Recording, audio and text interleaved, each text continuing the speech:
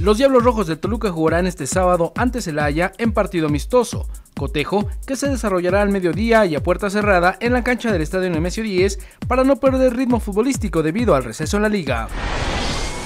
Después de la goleada en casa 9-0 que le propinaron a Coatzacoalcos, los Potros UM de la segunda división retomaron confianza y este fin de semana van por una nueva victoria en la visita que harán al Cruz Azul Hidalgo. Más de 1.300 corredores participaron de la carrera atlética por la salud, justa que se desarrolló en la ciudad de Toluca y donde todo lo recaudado se donó a la Fundación Alfredo Talavera para sus programas de apoyo social, sobre todo a los niños. Después de su arranque de campaña con dos victorias consecutivas, los fantasmas de Metepec tratarán de consolidar su buen momento cuando visiten a los Tigres CCH Oro, en acciones de la tercera fecha del fútbol americano juvenil en ONEFA.